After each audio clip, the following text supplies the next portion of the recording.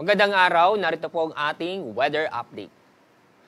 Kasalukuyan po itong habagat o southwest monsoon ay patuloy pa rin magbibigay ng maulap na kalangitan na may mga kalat-kalat na pag-ulan at thunderstorm sa Ilocos Region, ganun din po sa Maya Cordillera, Bataan, Zambales, ganun din po sa may Pampanga, Tarlac, Bulacan, kasama na rin po ang Metro Manila, Calabarzon at Mimaropa.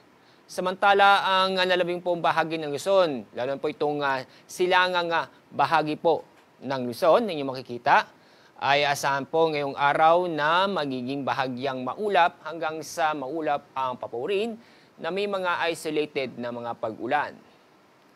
Dako tayo sa Visayas at Mindanao. Dahil po sa habagat, asahan po ang maulap na kalangitan na may mga kalat-kalat na pag-ulan at thunderstorm sa may uh, Western Visayas at din po sa may uh, Sambuanga Peninsula, Basilan, Tawi-Tawi at Sulu.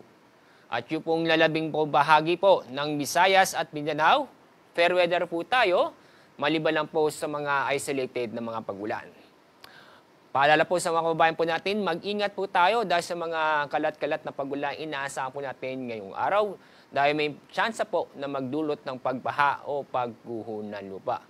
Hindi po, mag-ingat pa rin at lumayo pa tayo sa mga daling uh, o madaling tamaan ng kidlat dahil sa mga nabubuong thunderstorm, dulot po ng habagat.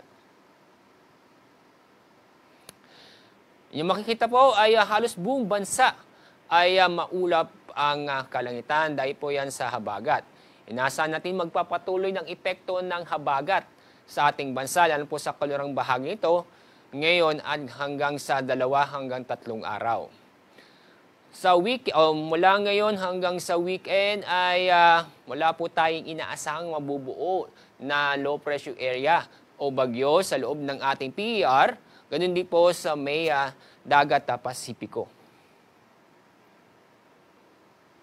Sunrise po ay uh, mamaya pong 5.26 ng umaga. Sunset, 6.24 ng hapon.